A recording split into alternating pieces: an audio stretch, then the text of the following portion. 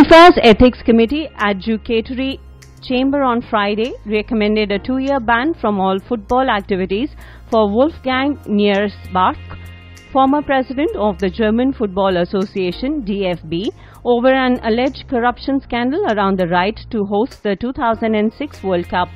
FIFA's ethics chief Dr. Cornel Borbely opened the probe in March and last month passed on his report to the adjudicatory chamber which has now decided to proceed with formal adjudicatory proceedings against Mr. Niersbach.